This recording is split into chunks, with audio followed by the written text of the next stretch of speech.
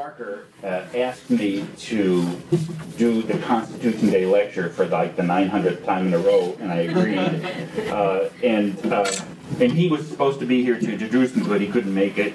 He, with the president and with our other leadership, are out visiting other women's colleges to see how to preserve this one. And so uh, I've enlisted myself to uh, introduce our program and myself. Uh, so let me just say, by the way, that it's going to, uh, I'll walk you through my lecture notes, by the way, in the program, but I suppose I should introduce myself. I've known our speaker for many years. um, we've been through ups and downs, and I, I've known his best and his worst, and worse than his worst. And uh, our speaker uh, received his MA and BA from Northern Illinois University in political science in 1974 and 1977, respectively, and his PhD in government from the University of Virginia in 1986. Um, including, by the way, my fields in UVA were constitutional law, American institutions, ancient, modern, ancient and modern political theory, and modern political thought and international relations thrown in, I guess, as salad dressing.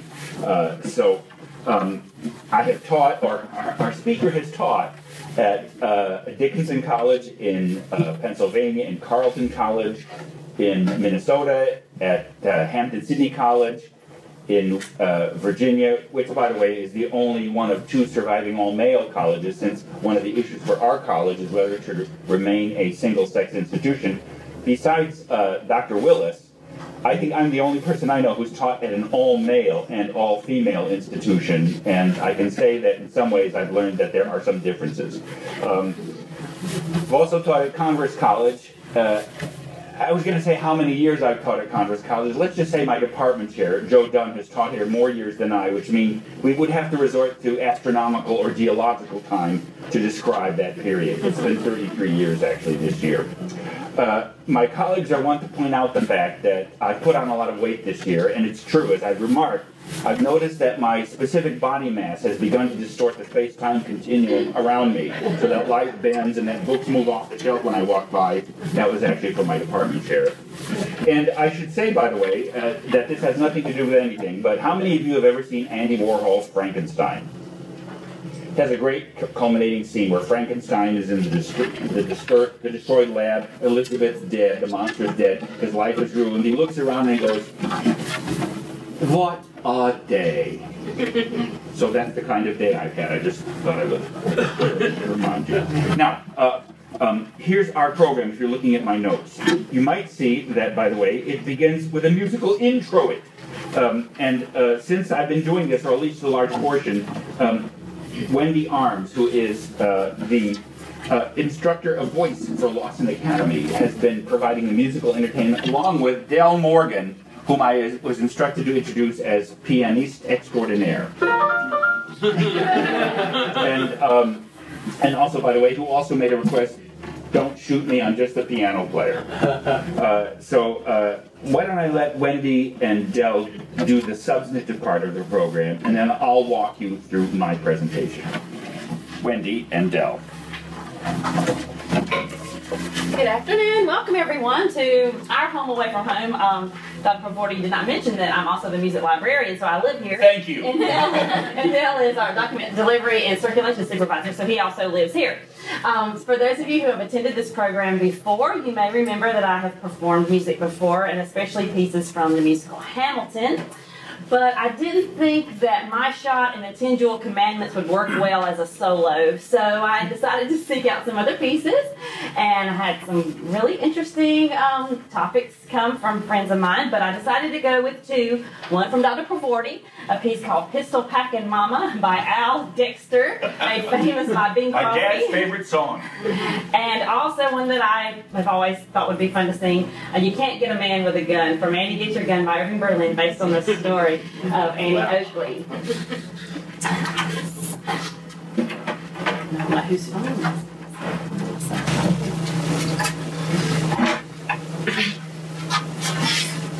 Drinking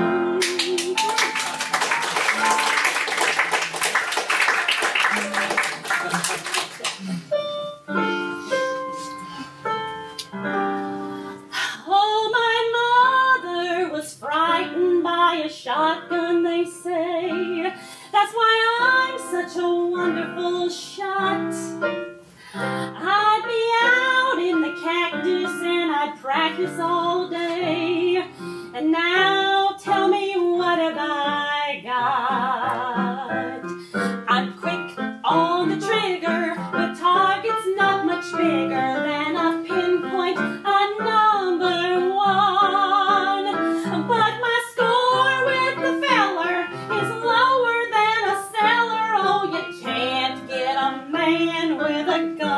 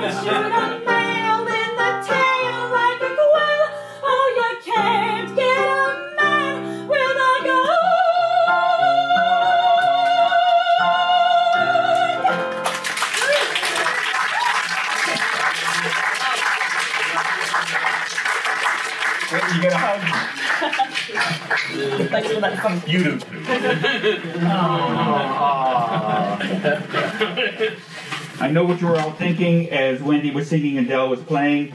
There is a God uh, who picked the right songs for the right topic. Uh, I just may mention, of course, that it was Irving Berlin who wrote the last song, in addition to many of the great musicals on Broadway. In addition, of course, to two of America's favorite Christian holiday songs, White Christmas and Easter Parade, which shows, shows that Jews have taught Americans how to sing. Let's see if they can teach them how to sing. Just kidding.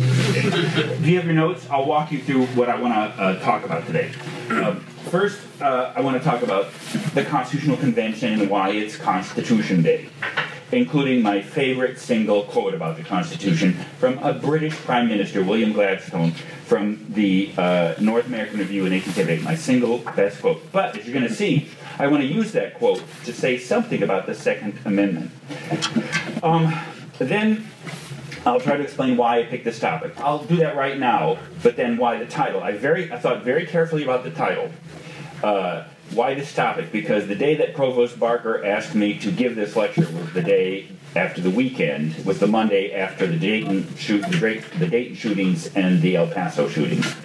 And this issue has been on the public mind for obvious reasons.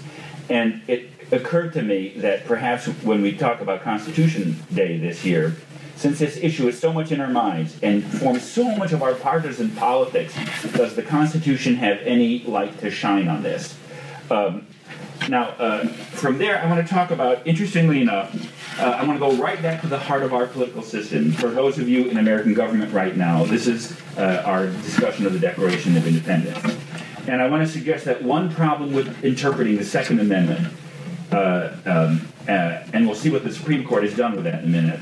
One problem with interpreting the Second Amendment is it raises the question that the status of rights in our political system raises inherently. And you'll see that at the heart of our embrace of rights, as the purpose of our political system, is in fact a very complex, perhaps even contradictory idea. And that contradiction shows in some ways with all the rights uh, of the Bill of Rights, but especially the Second Amendment. Um, then I want to talk about uh, the Bill of Rights and, and raise for you two historical circumstances regarding the Bill of Rights, which uh, many people are unaware of. And one is that the drafters of the Constitution, by and large, James Madison, Alexander Hamilton, and James Wilson, and the other great uh, uh, founders and defenders of the Constitution during the ratification debate, opposed a Bill of Rights. Many people are unaware of that. So I want to talk about Hamilton's reasons for opposing a Bill of Rights uh, in Federalist 84, by the way, the Federalist Papers, number 84, which is dealt, uh, uh, devoted to this particular subject, why the Constitution had no Bill of Rights. But of course, the fact of our Constitution is we do have a Bill of Rights. So what is the meaning of the framers' opposition, and how does that uh, frame our understanding? Then, another odd dimension of that debate. And again, this is it's it's a weird topic for contemporary Americans because the the documents, as we know them, if you've ever visited the National Archives, in the xenon encased uh, uh, nuclear bomb-proof uh, uh display of the Declaration, Constitution, and Bill of Rights, and other documents, is you know the Bill of Rights is part of the Constitution. Yet there was an interesting debate or an issue when the Bill of Rights were passed, and you'll see that was where to put them. Now that seems like such a strange and, and, and uh, um, weird question, but you'll see it actually raises some important questions eh, about the Bill of Rights in general and uh, the Second Amendment in particular. Uh, then we'll look at the uh, emergence, if you're looking at Roman numeral 6, at the uh, at the evolution of the language of the bill of, of the Second Amendment. From now, I'm not going to go over every version of it, but I do want to at least draw your attention, as you'll see, to Madison's original draft. Remember, there's a certain irony in this amendment, as with all the Bill of Rights. Madison, as Hamilton, as you'll see, opposed the addition of a Bill of Rights. Yet, Madison was the drafter of the Bill of Rights. How could he have gone from opposing the Bill of Rights to drafting the Bill of Rights in almost the space of one year? Have you met any other politicians that have changed their minds on any subject within one year? Um, anyway, then we'll talk about where the Supreme Court has been uh, on the Second Amendment. And you'll see, you can divide the Supreme Court uh, really and, and, its opinions on the Bill of Rights into two rough eras pre DC District of Columbia v. Heller in 2008 and post uh, uh DC. And, and so I just want to talk briefly about what the Supreme Court seemed to say about the Second Amendment um, um, uh, uh, prior to Heller, and then why Heller was so important and the follow-up case, by the way, McDonald v. the City of Chicago in 2010. So in some ways, as you're going to see, the, the court embarked on a on a something it had never done before, which is to settle the question of what is the actual nature of the right in the Second Amendment. Uh, and then we'll examine, by the way, the contending opinions. Now, I have to say, some of you who know me as a colleague and a professor and a friend know that uh, there's a theatrical streak in my character. Medication has helped. Um, uh, and when Professor Barker, when Provost Barker couldn't be here, um, uh, we've discussed the Heller case, and he has a certain opinion about it. I was actually going to imitate him by taking off my nice cashmere jacket and putting on my daily one with the missing elbows and everything like that. And then I would pretend to be me, and then I'd be pre- pretending to be him and present both sides of the arguments. I decided that that was probably even too much for me. So, uh, which I think we made progress. I think we made progress here. Uh, so, uh, anyway. Uh, uh, we'll see where the, where the divide on the court is and how that has affected public policy. And then, in conclusion, I'll state where I am. And as you'll see, it will help for you to have two cultural references Fiddler on the Roof and Certs. In particular, the great question that has faced America for decades is Certs a candy mint or a breath mint? And of course, the answer is it's both. All right, so Constitution Day. Why is this Constitution Day? Because it was the last day of the Federal Convention in 1787. The convention met from May 25th in uh, 1787 until September 17th. And over those four long months, and one of the hottest, by the way, it's interesting that the Declaration was, de- was decided during one of the hottest summers on record in Philadelphia, as was the Constitutional Convention. One of the first uh, principles they voted on in terms of procedure was to keep the deliberations of the convention secret, which meant, by the way, that by and large they met with closed windows. Now, how did these guys in wool tights and everything like that sit for four months? 55 members attended, 39 pr- pr- primarily, with 10 pretty active ones like Hamilton and Madison. How did they do it and keep it secret? Interesting idea. But over four months, they hammered out the Constitution. And, uh, and if you don't mind, I'd like to actually add then one of my favorite uh, quotes about the Constitution uh, on the last day of the Constitution, and this is from Benjamin Franklin. So, uh, uh, so they over the four months they hammered it out. On September 16th, George Washington, who had been elected the president of the convention but had never said a word. Oh, I have to say this one anecdote uh, because it's so Washingtonisticonian. Um, uh, you know, Washington was one of the tallest uh, founders, uh, over six feet, and he was widely respected, perhaps with Franklin and with Jefferson and uh, perhaps John Adams, uh, one of the truly world-renowned Americans at the time. And, and everyone was in awe of him because of his, his extremely grim and, and somewhat strict self-presentation. Well, remember, they had voted to keep the convention secret and its deliberation secret. Well, when they took their recess on January uh, on July 26th to August 6th, uh, they had amanuensi, uh, copiers, make 55 copies of the Constitution. They gave them out to the members. And on August 6th, when they reconvened, evidently one of them had stuck them in his back pocket. And as he was walking up the steps to Independence Hall, the State House at that time, it fell out evidently. And unfortunately, Washington was following up behind. He didn't see who dropped it, but he walked in and convened the convention, and he said, like your gym teacher who'd say, Who did this? And everyone would step back one step. You know, he said, I we took a solemn pledge to keep these deliberations secret. Which one of you dropped the Constitution in clear dereliction of your duty? Nobody, of course, said anything. So that was the only time that Washington actually really spoke, except for September 16th, when uh, he uh, left the president's chair, came down, and made one substantive proposal, which was adopted unanimously, and that was to lower the rate of re- representation from one per 40,000 in the House of Representatives to one per 30,000. So on the 17th uh, uh, of September, the Constitution was brought in, the embossed version you now see in the archives to be signed. Uh, and by the way, just for, to, to start our, our discussion, three of the members George Mason, Elbridge Gerry, and uh, Bryant on the, the, third one, refused to sign the final Constitution because it had no Bill of Rights. So on that day, this was what happened. The president, having asked what the convention uh, meant, should be done with the journals, etc., whether copies were to be allowed to the members if applied for, it was resolved, nobody contending, that quote, that he retain the journal and other papers subject to the orders of the Congress if ever formed under the Constitution. The members then proceeded to sign the instrument. I'm going to get a little, as they say, verklempt here, as I do when I teach this in American government. While the last members were signing it, Dr. Franklin, looking towards the president's chair, at the back of which a rising sun happened to be painted, observed to a few members near him, and just a little bit, you should know, Franklin was very close to death at this point. He was 81, I think, and had suffered for gout, like my department chair, and being overweight, etc. So we, we have living examples of that kind of suffering. So um, um, he never, in any of his speeches, he never spoke because he couldn't speak publicly. Hamilton generally read his prepared speeches. But on this day, Madison happened to overhear him whispering. And so that's the context of this paragraph. Uh, uh, Hamil- uh, Franklin uh, observed to a few members near him that painters had found it difficult to distinguish in their art arising from a setting sun.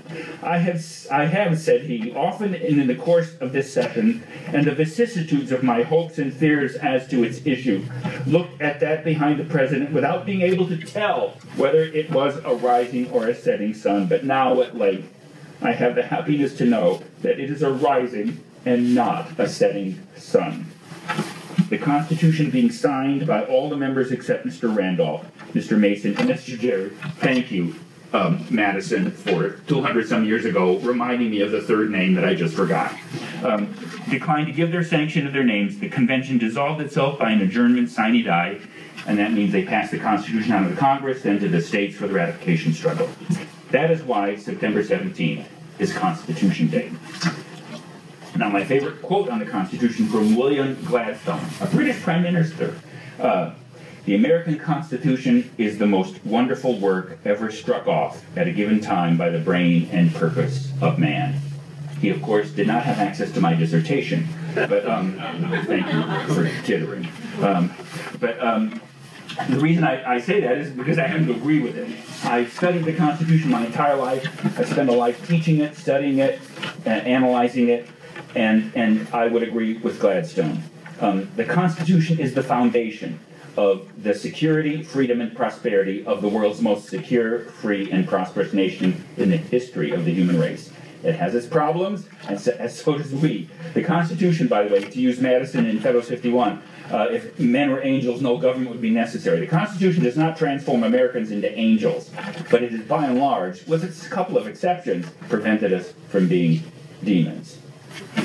So, uh, why do I bring this quote before you? Because even though I think the Constitution as a whole follows that description, there are exceptions to its clarity and remarkable quality. I remember I submitted a paper as a freshman once uh, to an English professor in my freshman year who thought I was unusually talented, but he didn't like my paper, so he put at the bottom, even Plato nods. Um, so even the Constitution nods. There are parts of the Constitution which are remarkably clear. Like, for those of you, Alex, suffering in my American government class, what is the age or the requirements to be a member of the House of Representatives? I know you didn't expect this. No, it's called on the spot right now. Well, how, how, how old do you have to be a member of the House? 25. 25. And what's the other requirement? You have to be representing your state You have to live in the state you represent and be a citizen of the United States. For Seven years? seven years. Very good. I still love you as a human being. So anyway, um, anyway, um, there are parts of the Constitution that are remarkably clear. And certain aspects of the Constitution, in some ways, the notes of the Convention, but for me, because I, in my own understanding of the constitutional jurisprudence, I call myself a Marshallian, which doesn't mean I come from another planet, although you may suspect it. It means I follow the interpretive structures and strategies of Chief John Marshall, the first great Chief Mar- Justice of the United States. And I'll explain um, why I disagree with both Justice Stevens and Provost Barker later on, and what that interpretive strategy is. I'm not so much an originalist as Scalia, may he rest in peace, used to describe himself, and as Gorsuch and Trump's uh, appointees describe themselves, which, by the way, seems to be the regnant approach uh, of the five-person so-called conservative majority on the court today. Um, but I'm an original principlist as embodied in the structure and text of the document. I'll try to I'll try to make it clear what that means in terms of interpreting the difficult and ambiguous language. So here's my point even though the Constitution is this remarkable document, parts of it are extremely vague and difficult to understand because of ambiguous language. Cruel and unusual punishments, reasonable searches and seizures, uh, warrants issuing on probable cause, the privileges and immunities of the citizens of the several states. Um, some parts of the Constitution are very difficult, and I'm going to argue that the Second Amendment does possess a certain ambiguity. And, and like other parts of the Constitution that are ambiguous, I think it's because the drafters of the Bill of Rights and the Second Amendment in particular were trying to combine in concise language several difficult and different ideas. So, uh, in some ways, the more concepts you try to pack into compact prose, the more likely, actually, you're likely to produce an ambiguous result. And I think that is to some degree true of the Second Amendment. So, um, uh, now, a little comment on judicial review, uh, not only because this is interesting and we're talking about the Constitution, but uh, but it explains in some ways my title. Originally, I was going to call this a re- the Second Amendment a reasonable approach. But as you're going to see, I decided I wanted to make it more modest, believe it or not. And to understand that modesty and the particular confinement of what I want to talk about today, it's interesting to see uh, uh, uh, uh, how the concept of judicial review, the idea that the judges measure the constitutionality of the actions of the other branches and of the people to some degree by a constitutional standard. Uh, now, this idea comes from one of the great constitutional scholars of American history, Edward S. Corwin, in his very pungent but very trenchant little treatise, The Higher Law Background of American Constitutional Law in this little treatise, Corwin is trying to explain something. Why did the English, why did the British Constitution try for centuries to produce a stand, a constitutional standard for limiting the excesses of Crown and Parliament, but never fully succeeding? And why did the Americans, because this is this thesis, that the Americans for the first time in human history created a genuine standard for limiting the uh, institutions of government and a mechanism for enforcing those limits. And of course, that's the written constitution will come. This is the conclusion: the written constitution and judicial review. So why couldn't the British Constitution do this? Because what does the British Constitution not have? A written constitution. Yes, it has primary documents like Magna Carta and the Reform Act of 1832 or the Reform Act of 1911. But those are acts of parliament. And in some ways, the question within the British Constitution was veering between uh, royal supremacy versus uh, parliamentary supremacy. So, in some ways, uh, as he goes through Coke, Fortescue, and Blackstone, he shows that the British judiciary tried to create some standard and some mechanism for limiting the operations of government. But it was only with the American written Constitution. And when I teach this in American government, I, I, I suggest, by the way, that this habit, this American habit, which is now imitated by almost all the political entities in the world, that is to say, written constitution, probably comes from our first genuine American document, the Mayflower Compact. That what the Puritans did when they when they landed, actually they did this a little bit before they landed, and uh, since you've had enough singing today, at this point in my American government classes, I sing Anything Goes because of its wonderful pro- uh, preface. Uh, times have changed, and we've often rewound the clock since the Puritans got a shock when they landed on Plymouth Rock. But today, any uh, shock they would try to stem, any uh, any shock they would try to stem, Plymouth Rock would land on them. There, now you know. I didn't sing it. At least I respected your dignity. So, um, um, so the Mayflower Compact. Here you had on these shores the first political entity established by colonists, and what did they try to do? They tried to put it in a written document. I think actually that's where our tradition of written constitution comes from. So, what's interesting is, by the way, how little debated this theory was in the convention. It's almost unmentioned. And uh, if you look at your notes, you're going to get the only real mention or discussion of this power on June 4th, 1787, Monday. Now, let me give you a little context. Madison had written the first great proposal in the convention, the Virginia Plan, and in it he proposed a institution for limiting Congress or the legislative branch, and that was called a Council of Revision. Some of the states had something like this, and the idea was the president and several members of the judiciary, probably the Supreme Court, would form a new institution that would review every piece of legislation passed by Congress on the grounds that the great defect in the state constitutions during the 11 year crisis period between the Declaration and the Constitution was that the state legislatures generally disobeyed or ignored their state constitutions. So, uh, uh, it turns out, by the way, the convention rejected this idea. And how does it survive? It survives in one aspect in the qualified veto of the president. So the president is, and they came to understand this, that the president would be the primary external institutional check on excesses within the legislative branch. But what about the judiciary? And this is Elbridge Gerry. Uh, uh, and this is almost the only statement on judicial review. But the reason I lay it in front of you is, as you'll see, it explains the choice of my topic and what I'll be talking about. Mr. Gerry doubts whether the judiciary ought to form a part of it, that is to say, the Council of Revision. as they will have a sufficient check against encroachments on their own department by their exposition, that is to say, interpretation of the laws, which involved uh, power of deciding on their constitutionality. In some states, the judge had actually set aside laws being against the Constitution. This was done too with general approbation. It was quite foreign from the nature of the office to make the judge them judges, the judges that is, of policy and public measures. He moved to postpone that, and then, and then, by the way, moved to uh, put a veto. What do you learn from this? First of all, that it almost went unassumed and unexplained, although, uh, again, it's hard to say how many framers at this point thought the judges should have this power. Um, but in this first discussion of it, he argues yes, they should have the power to decide constitutionality, but not policy, not the, not the good or bad policy of an aspect. So, what I'm going to argue, by the way, is that in some ways, although very rapidly, within Federal uh, 78, where Hamilton, a couple of months after the convention, actually produces full blown, as his brilliant mind often did, a full blown theory of judicial review that uh, uh, Chief Justice Marshall employed in Marbury v. Madison uh, in 1803. So, this power of judges to review the constitutionality of policy of the other branches is, in fact, an important part of our system, and it's amazing how quickly that congealed. But here's the point following uh, Gerry, in some ways, we don't want the judges to judge, we don't want them to be policymakers. This is a complicated question of American judiciary and constitutional law, but you'd have to say this. We, their particular expertise is knowing and understanding the law, not what makes good policy. And that distinction between the constitutionality of a policy and the wisdom of a policy is what guided my topic.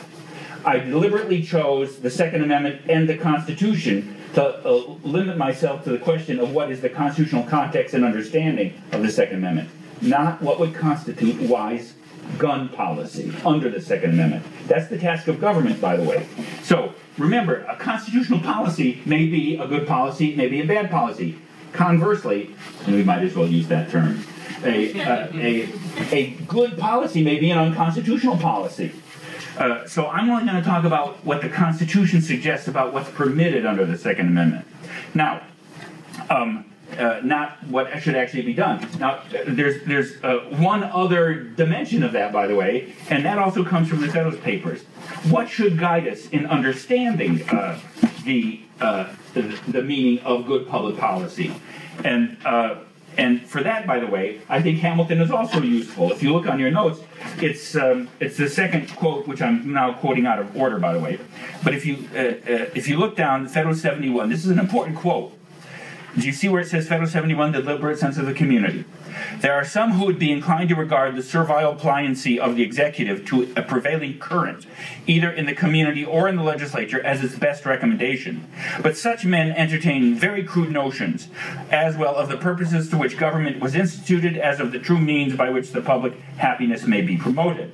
The Republican principle, bearing in mind that what we have is a constitutional republic and not a democracy.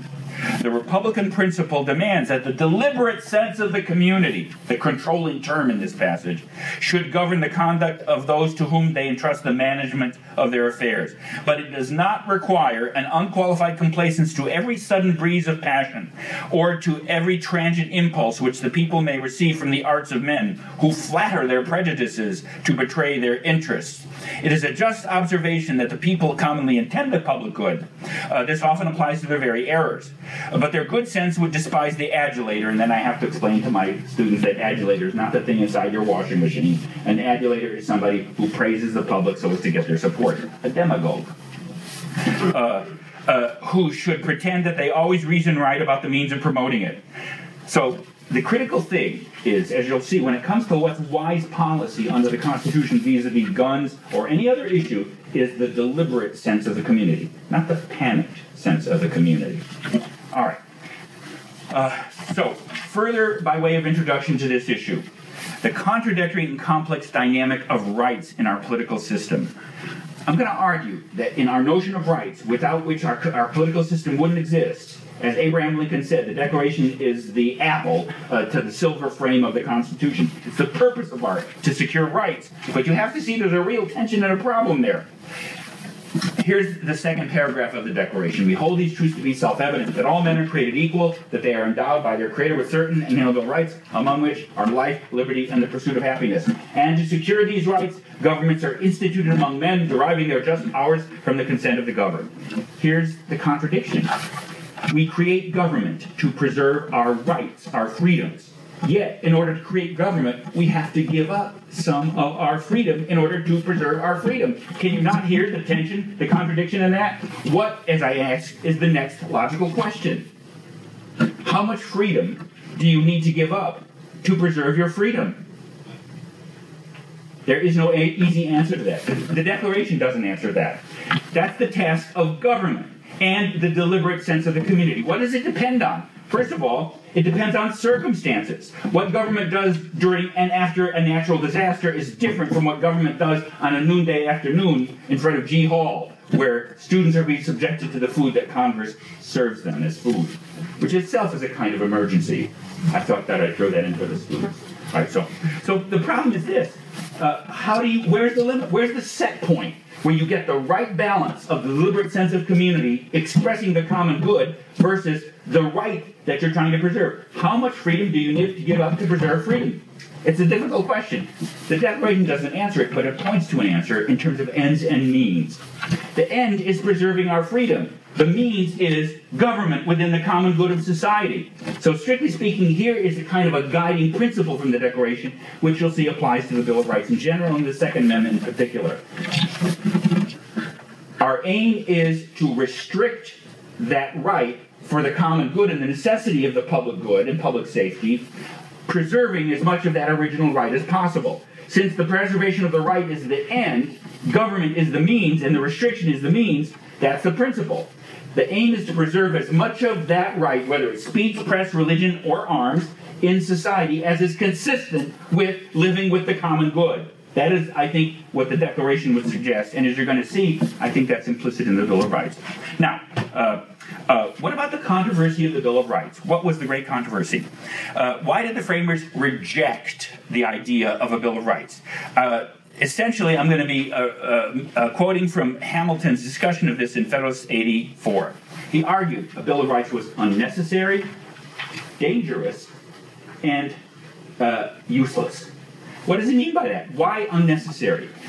The argument the framers made was the Constitution, because of separation of powers, checks and balance, federalism creates this complex system of government grounded in popular authority. A Bill of Rights comes from the Britain Constitution, where it was a limit on royal authority in the name of the people. But here, the people create the government. Here, the government is structured in terms of federalism, enumerated powers, checks and balances. The, and, and by the way, the, the, the phrase that Hamilton uses here is the one the framers generally use. The Constitution is a Bill of Rights. That is to say, in its structure and operation, it produces the limits on government that people wanted from a Bill of Rights. Now, there are all kinds of interesting answers to that. Yes, the national government has enumerated powers, but aren't those powers read very flexibly? And might there not be implied powers that might destroy vested rights? So, in some ways, there was a certain naivete to that argument. What about the dangerous part? Why would a Bill of Rights be dangerous? Hamilton says, listing fundamental rights might make you think that that's all the rights you have. And so, in some ways, by the way, that actually was embodied, that, that concern was embodied in First Madison's original draft of the Bill of Rights and the final one in the Ninth Amendment. The enumeration of certain rights in this Constitution shall not be understood to deny or disparage others retained by the people. So, now, what about the useless one? In, in a way, Hamilton's asking, what do, what do bills of rights do? They list rights. They don't define rights. And the difficult thing with rights is how you define their civil meaning and application. So, in some ways, he thought there was a simple mindedness to bills of rights which would make people think that just because you listed them, you defined them. That is not the case. It has never been the case. And I would say on the Second Amendment, it has led to remarkable extremes of thought, where people really leap to extremes in terms of what kinds of guns they have and what kinds of guns they want to protect, and in terms of what kinds of guns they think you can take people people th- think you can take away from them. In other words, the problem is they, the rights have to be defined, and as you're going to see, I think within the context and language of the Bill of Rights, there is a kind of moderation present. Now, um, what about the other question, the strange question, where to put the Bill of Rights? There were three possibilities. Generally speaking, the Anti-Federalists wanted the Bill of Rights to be at the front of the Constitution as a preamble to the preamble. Why? So that you would remind the government and the people that what this business is is about securing those rights. So to secure them, you list them. The framers rejected that, and our, thank God, by the way, our preamble remains pretty simple and clear. We the people, in order to form a more perfect union. Um, the other alternative, as you'll see, was to put him at the end, which is where it happened. Madison did not want that. What did Madison want? Like, by the way, the Constitution of the faculty at Converse College, whenever we amend the faculty constitution, we actually amend the original document. So Madison wanted the Bill of Rights, the amendments, the first 10 amendments, to actually go in the text of the Constitution. So, uh, why did he want that? One, because he thought that people should be aware of the fact that listing your rights doesn't secure them, that having a well constructed constitutional government does. What better way to show by putting the Bill of Rights into the structure of the Constitution? Does that make sense? So, but then the next question is where would they have gone in the original Constitution? Where would the Bill of Rights have belonged if they had gone in the original uh, language of the Constitution? And here's the answer Article 1, Section 9. Article 1 sets up Congress. Uh, the first uh, sections define Congress, set up the House and Senate, give its powers, procedures for how a bill becomes a law. Section 8 says the 18 different powers that Congress has. In other words, what Congress can do. So, what does Section 9 say? What Congress can't do. And Section 10, conversely, uh, states that, um, uh, that what the states can't do. So, when you turn to Article 1, Section 9, what kind of limitations do you find there? You find that there are three kinds of limits placed on Congress. One, limits placed on Congress's power in the name of individual liberties, such as no ex post facto law, no bill of attainder, uh, no tax or capitation tax. Um, uh, so that's one kind. Limitations placed on Congress's uh, uh, power in the name of securing individual liberty. A second kind is limitations placed on Congress's power for the purposes of preserving the state's authority, like the infamous Migration and Importation Clause, the Slave Trade Clause. No, Congress may pass no law uh, uh, restricting uh, the importation or migrations of such persons as existing states think. Uh, of course, that means uh, that Congress couldn't pass a law taking away the slave trade until 20 years after the Constitution, which is what it did, this first act in 1808. So, and other things like no tax which prejudices, which prejudices one state over another. The third kind of limitation is a limitation placed on Congress's power in the name of good government or Republican government. No titles of nobility, uh, uh, uh, no royalty, that kind of thing. So, the question obviously is where does the Second Amendment live in there? What kind of a limitation on Congress's power is the Second Amendment?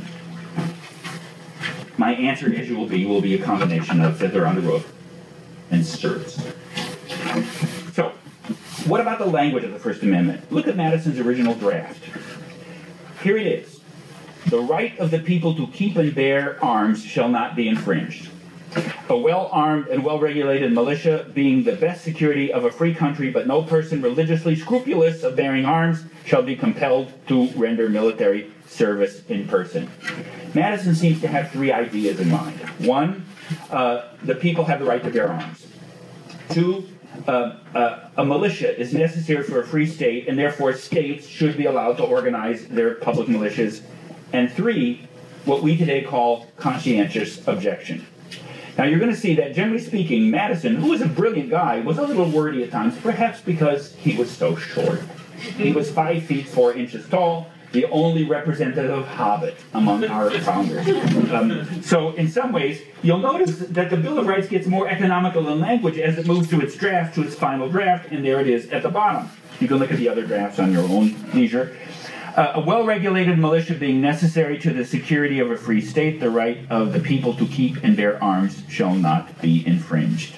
So, what is the nature of the limitation? Is it a personal right? Is it a state's right? Is it a general restriction in terms of good government? The primary debate, as you're going to see, is is the Second Amendment a personal right or liberty, or is it a restriction on Congress's power in favor of the states? Is it a state power right or a individual right? And that is clearly the question. What has the Supreme Court said pre Heller. It actually never really fully spoke to the nature of the fundamental right. In the three primary cases that formed stare decisis for Heller in 2008, the court essentially said in two cases, Cruikshank and Presser, that both states and the national government could restrict other military organizations and could establish the official one. Because what are we talking about right after the Civil War? Uh, Cruikshank, 1876, and Presser, 1886. We're talking about what interesting quasi military organization rose up in the South. Well, this is after the Civil War. The K, K, K.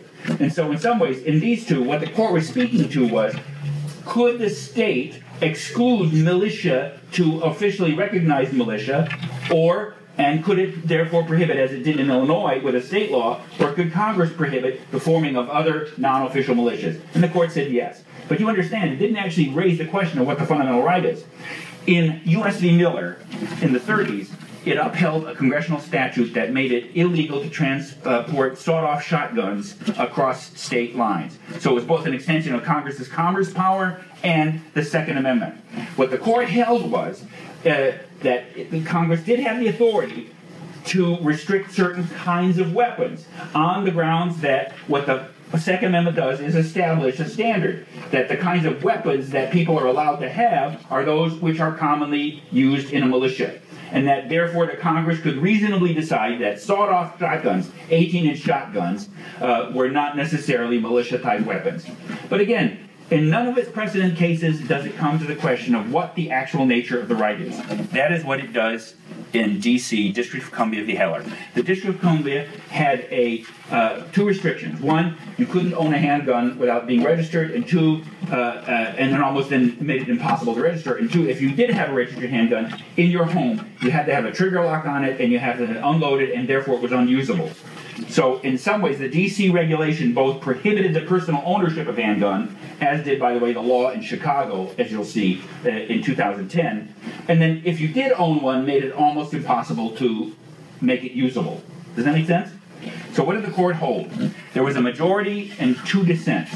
So, what did the majority, that is to say, Scalia and Roberts, Kennedy, Thomas, and Alito? The Second Amendment is an individual right uh, to means of self defense. That's the core right.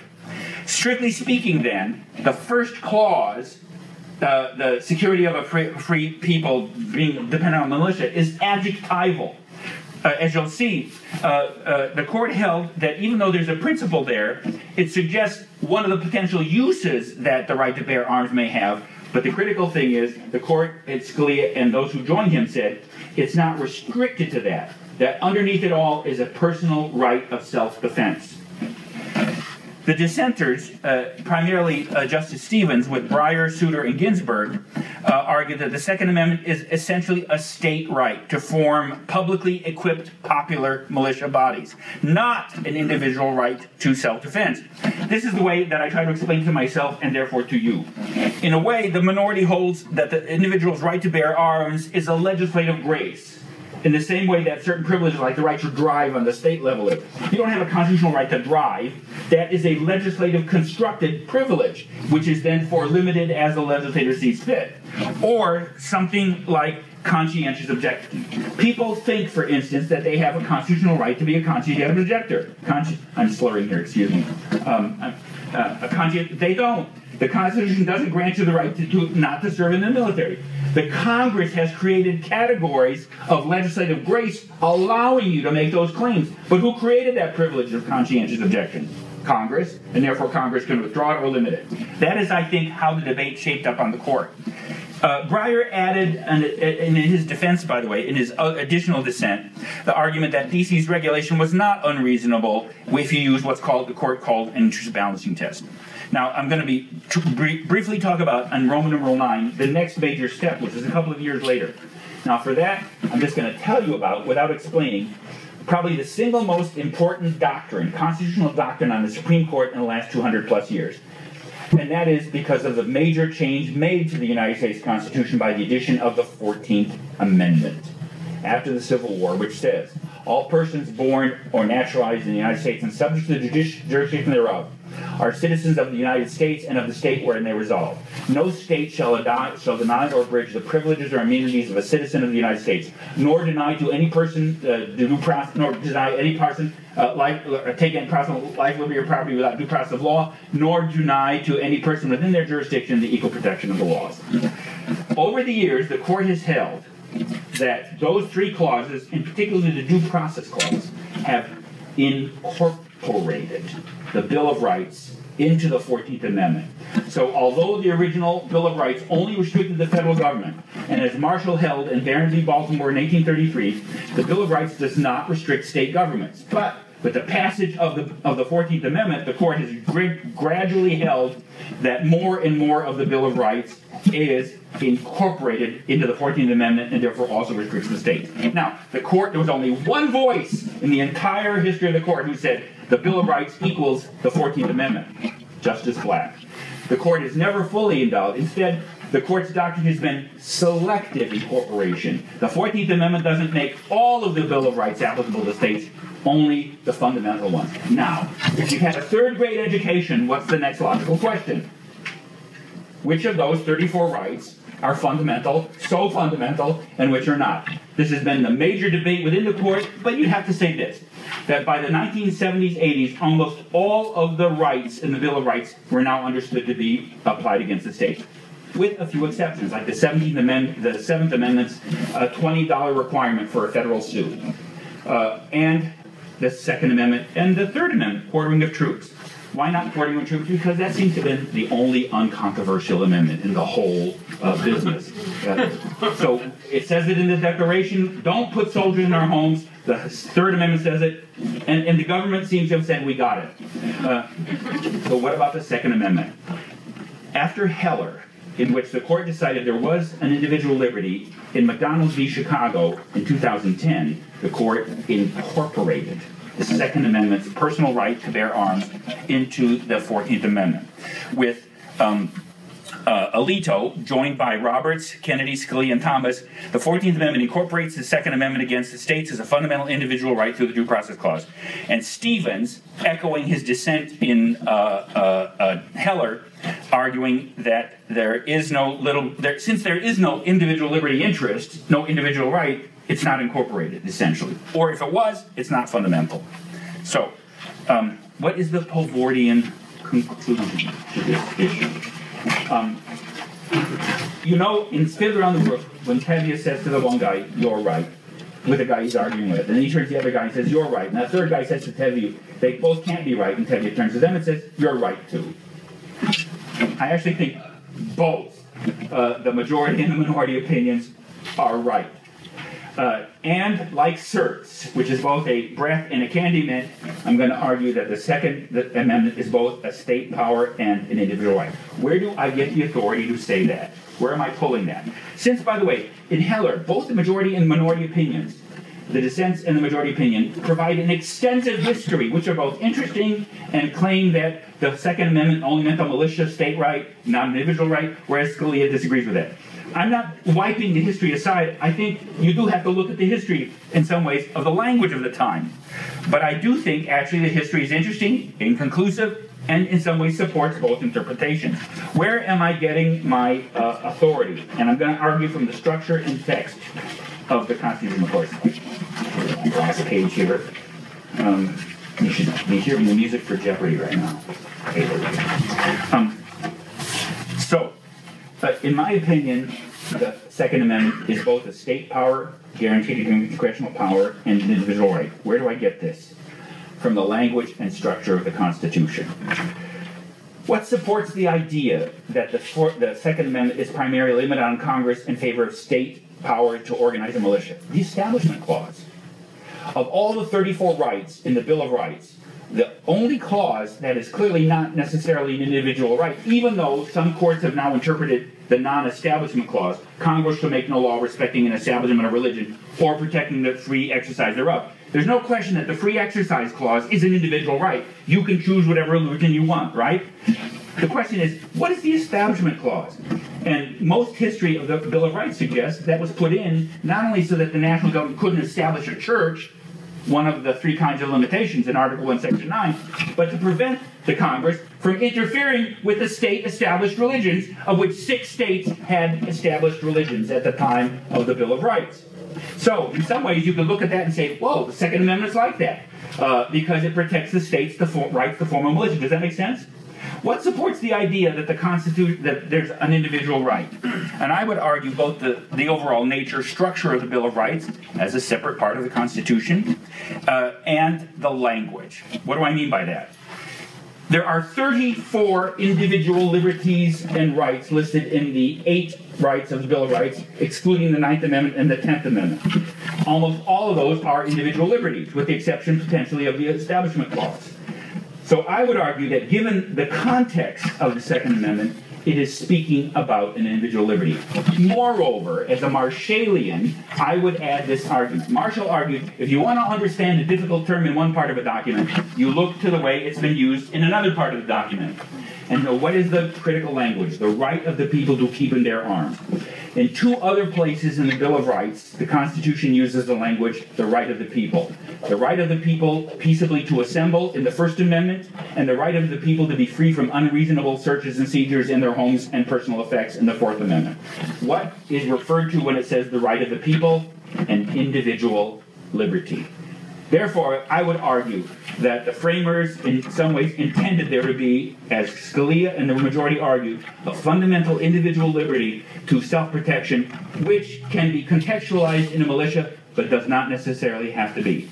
Now, uh, how can possibly it be both? Look at the 10th Amendment. The 10th Amendment says, uh, the powers not delegated to the United States shall be reserved to the states and the people. So, can something be both a limitation on Congress's power with respect to a state power and an individual liberty? I think the 10th Amendment suggests. And therefore, that is my argument. I support the majority's opinion that the, the Second Amendment is an individual right to bear arms. And, nevertheless, that it also protects the state right to organize and equip a militia. Having said that, the two parts of the Supreme Court are not so far as apart as you think, because they actually agree on what? To go back to my original argument that the Declaration says we enjoy our rights but under the context of limitations for the common good. If there is a personal liberty in the Second Amendment, nevertheless, our task is to preserve the individual right under reasonable restriction for the common safety of society formulated by the deliberate sense of the community. You can clap now.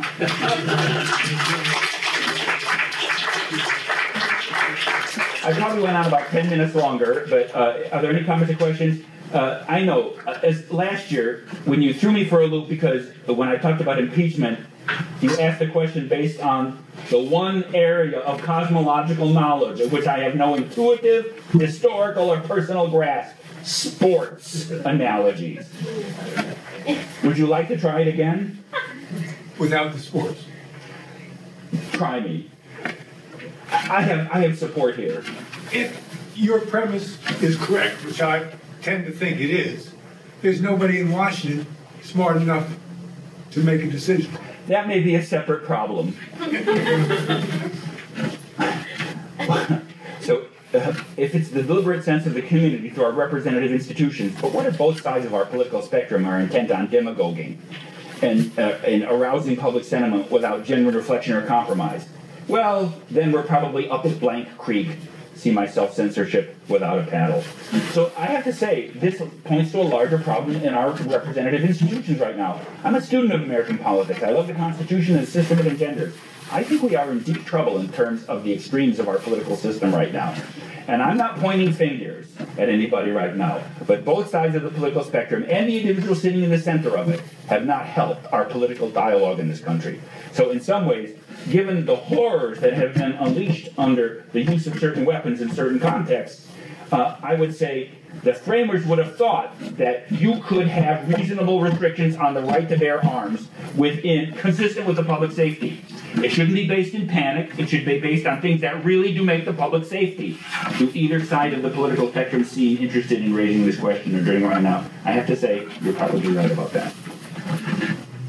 My argument is The Second Amendment permits reasonable restriction on this right in the name of public safety. So what our what our representative uh, uh, should be doing is formulating what means would actually increase uh, the safety of the public, especially in these circumstances like mass shootings, etc. But don't forget, um, mass shootings are only one small proportion of the uh, shootings that go on every day. So in some ways, there would be still a difficulty. And here's another fact in, in doing the research for this talk: 43% of American households own a gun.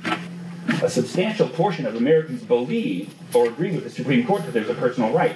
Yet, the substantial portion of that 43% also believes that certain kinds of weapons are inappropriate for ownership, and there can be certain other reasonable limitations, such as the vast majority of Americans, actually, even gun owners, support universal registration. But we're, we're close to that anyway. But I think that would be a kind of an example, possibly, of reasonable uh, uh, legislation.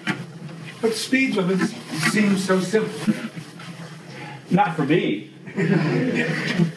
I thought that 85 on, on, on that highway out there from Charlotte was actually the speed limit. That argument doesn't work with policemen. Yeah, exactly. But, oh, by the way, but you point the fact, if we had no limits, if we had no highway laws, we wouldn't be able to enjoy the freedom to drive on the highway. It's the restriction, the reasonable restriction of rights that enable us to enjoy rights. So in some ways, I, I agree with your analogy. Aren't speed limits the kind of proper analogy? Yes, I think that's true. Now, what would that look like specifically with respect to the kinds of weapons that Americans own and use, uh, and and other kinds of restrictions like like universal uh, checks, or some of the issues like red flag laws that are being dis- discussed? I mean, for that, you have to get to the question of how what actually produces these mass shootings, um, and there's there are complex cultural answers to that. Complex. Um, I just read a trenchant article by one of the fathers of one of the students shot, shot in the Parkland shootings, who argued that everything that needed to prevent that shooting was in place. Uh, but instead, there was a bad school policy which looked away from the tendency of that individual and actually allowed him not only to get the guns, that was the sheriff's department's and the FBI's mistake, because evidently there were, I think, 17 separate flags over three years about that individual, and the policy of not putting on permanent records students or expelling students. So, in other words, that student was allowed to buy weapons and come to school. So, I'm not taking a side on that, but I have to say it's a trenchant article. So, again, what constitutes a reasonable restriction on that personal right if you grant there's a personal right? For that, you have to ask, what's the nature of the problem plaguing our country? What causes or makes permissible the mass shootings? Are there more things we could put in place which would not deny people their essential right to own, keep and bear an arm, and at the same time protect the public from misuse of those arms or from the use of certain kinds of arms? I think there is an answer to that question. But the question is where? Is Or the question may be whom, by whom. Um, look, if I could sit uh, Mitch McConnell and Nancy Pelosi and uh, Donald Trump down in the family restroom where we could all meet with a locked door, I try to get them to agree on something that they could benefit all. But again, our partisanship of our system is so intense right now that I think there are people in Congress and in the executive branch who will deny a proper solution to these problems simply because it denies a partisan advantage to their opponents or accrues a partisan advantage to them. Now, that has nothing to do with the Second Amendment or any of the other Bill of Rights. It has to do with our political culture right now, which I think is in peril. Okay. Was that a, was that a shut up sign? Oh yeah. Or was that a question? Question. Okay. Uh, you then then that strange bald heavy set man in the back. Go ahead, JD. Um, do you think that uh, our uh, political climate is, is a reflection of our media, or is our media a reflection of our political? Yes and yes. There, there, why is our why is our political culture drifted to such extremes, both socially and institutionally? The framers clearly helped to create a helped to create a constitutional system which would frustrate that through representative institutions, separation of powers, etc. There is an institutional question. So part of it, I think, it is is the the distortion in our media. We talk about the press But the press is not simply this disembodied uh, uh, institution that has doesn't have its own self-interest and, and pathologies. It does. And with respect to our president, there's no question that the pathologies of the press feed upon the, the elements of our president's character. They feed each other. But this also preceded Trump, by the way. So I would say that to some degree, complete partisanization of the media goes perhaps back about 30 to 40 years with the um, with the rise of cable television, in which no longer did you have overarching uh, television networks that covered the whole spectrum, but now you had niche, niche. Am I saying that right? I born this country. Uh, niche, niche, uh, uh, which has been increased and radicalized by the tendencies of the internet and social media. So, if, depending on how broadly you define media, yes, it's partially our culture, partially the media. They feed on both. And institutionally, this is kind of what I've talked about the last couple of times in this venue. I think the greatest threat to our constitutional system institutionally is the complete democratization of our presidential nominating system. And this goes back about 40 years. What, what, the, what the reforms, our party reforms have done in the last 40 years is essentially restrain and remove all institutional restraints and inputs based on anything other than popular following. Uh, now, when the Democrats first reformed the nominating system in 1968 and the Republicans followed, it wasn't too long between, by the 70s, you had now each of the 50 states having binding primary or caucuses. But that meant within five years of our prior system, which was a moderate system based upon party leadership and uh, primaries, we have a system in which every phase of the nomination and election is now determined by popular following. With what result? It turns out that in primary elections, only about 20 to 30 percent of the electorate participates. And what kind? The most extreme ideologically. So, in some ways, our nomination process, both on the presidential level and on the congressional level and on the local level, has encouraged two dangerous tendencies. The elimination within the occupants of our represent- representative institutions of moderates. So that whereas in the 1960s, 70s, and 80s, there were liberal Republicans and conservative Democrats, now our two parties have become far more extreme ideologically, primarily because of the nomination stage. Second, in requiring now popular followings as the primary qualification for candidates, you have completely dissolved any institutional restraint on that.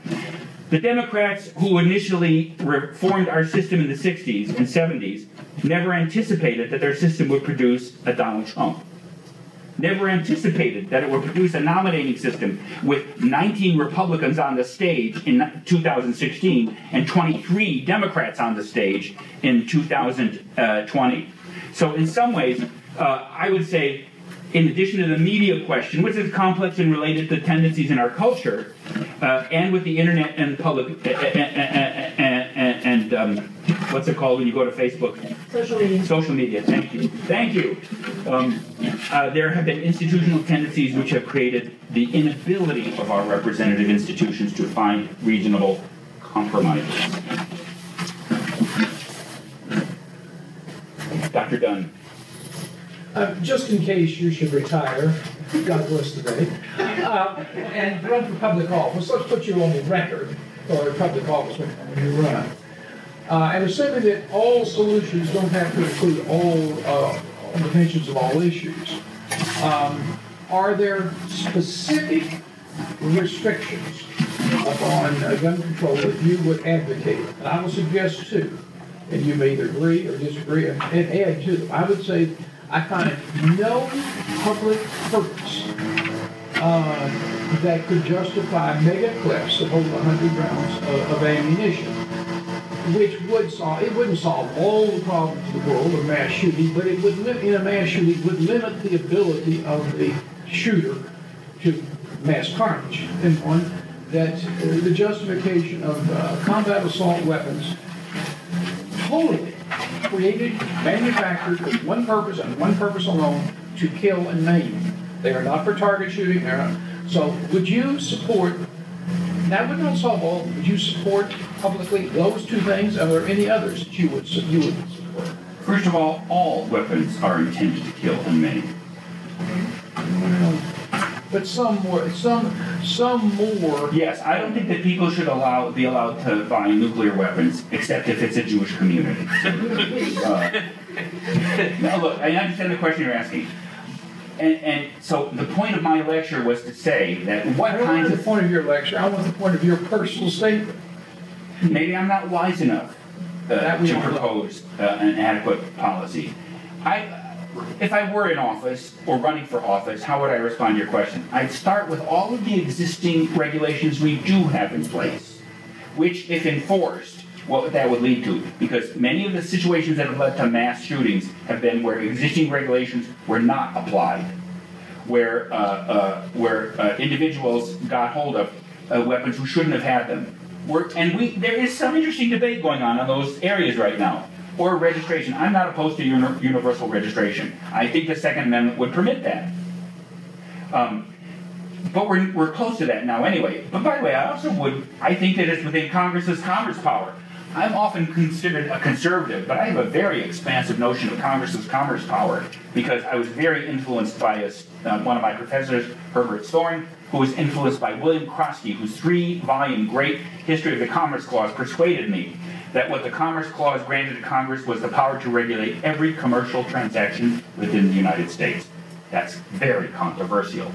But could Congress put a national ban on the private sales of, uh, of assault weapons, however one defines those? Yes, I think so. I think that is, and we should debate that. So, in some ways, uh, I would say this that, again, you'd have to start on this question with the regulations we have, then specifically look at the situations we're trying to prevent. Now, one situation that would be difficult, although we actually tried to, a legislative fix for the guy in Las Vegas uh, who shot the 61 people, they did in fact prohibit bump stock editions. So there is a legislative fix which probably did address one potential cause. Now, your question seems to be is it a reasonable or permissible restriction under the Second Amendment to restrict the kinds of weapons that people may own and say the stock of ammunition? Yes, I think the Second Amendment would permit those regulations. Whether or not those are the answer to our problems or whether or not those are reasonable, that's what our representatives uh, have to debate. I can see the argument for some of those things, but you understand what the purpose is. And you are avoiding the question I asked. I'm not avoiding the question. I asked for your, as a, as a political figure with the power to make legislative policy, your vote on the issue, let's take the simplest one, on your vote to restrict. well, The amount of ammunition you can have.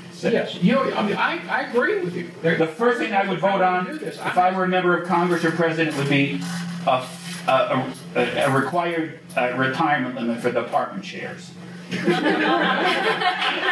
I think, I think age ninety is a very good age determine. Congratulations and mazel Would you tov. answer my question? So by the way, would I vote for those? Yes. I'm not yes dodging the question yes by or no, saying but I have to think it through and look at the specific proposal. You've never thought anything through before. That's what the deliberate, that's what the deliberate sense of the community is. I actually have a question about the Second Amendment. Yeah, please.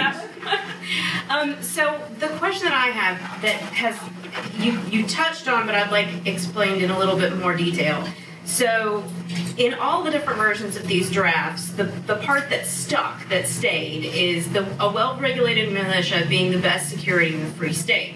And so then we have the decision in 2008 that this clause is adjectival, Correct. but not restrictive of the individual right.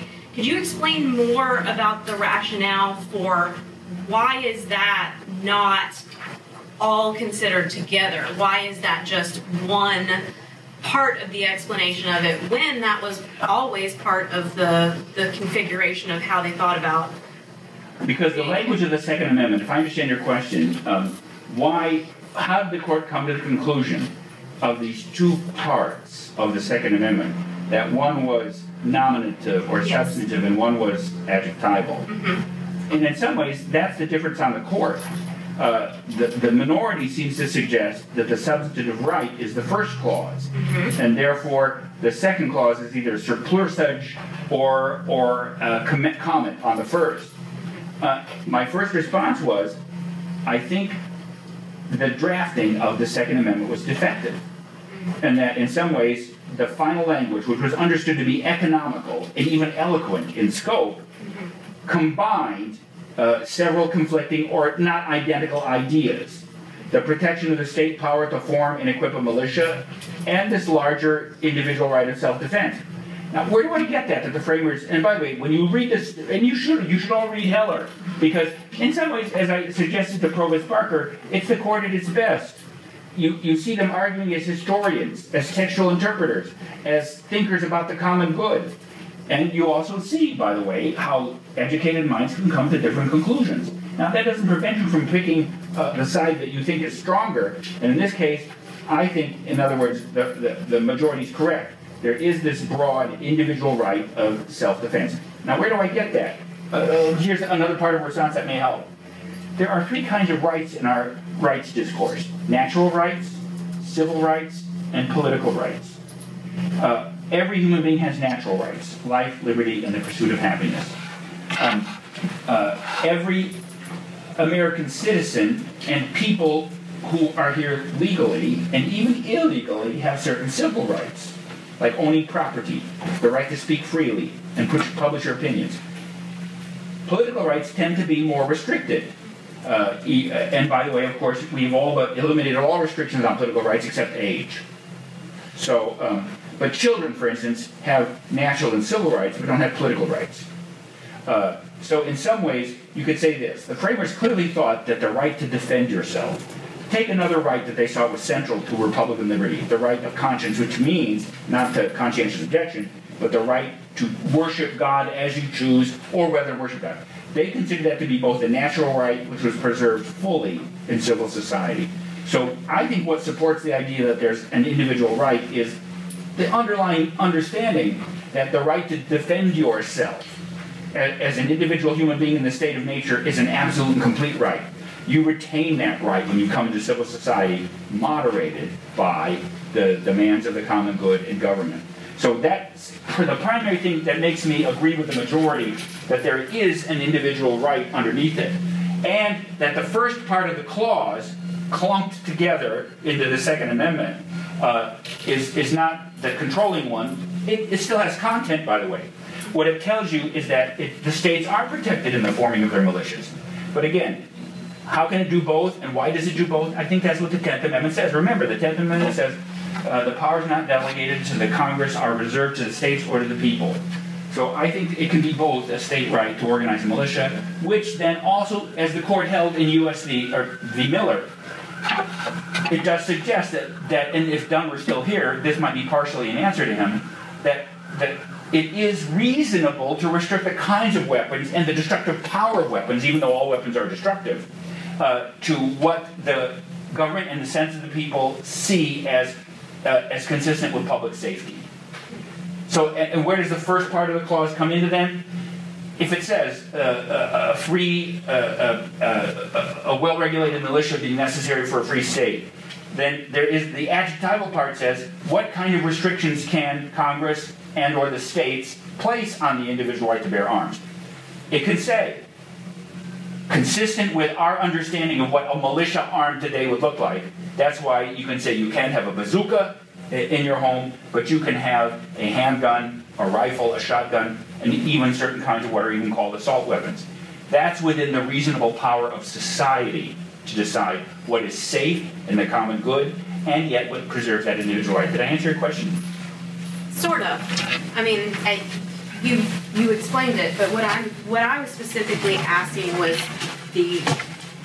It, it just seems as if the first part of the clause is explaining the rationale for the second part of the clause, and so that to me is more than just in some of these cases. Then there is this law. It, it really seems as if the grammatical construction of that that then got you know moved around and preserved it's that there that both of those clauses are important when we're thinking about the entirety of the law, and almost no one mentions the first part. No one, no one talks about the rationale for their. We we have arms because we need to have a militia. Um, Well, there, by the way, there you have the great division of the court. Uh, the majority in Heller said we have arms because every human being has a right to defend himself in his home. Uh, the majority, the minority said no, we have arms so that we can form a militia. Yeah, that, that's my, my point though, was kind of like, what is the ra, like, how can you ignore the first part of the clause, was my question.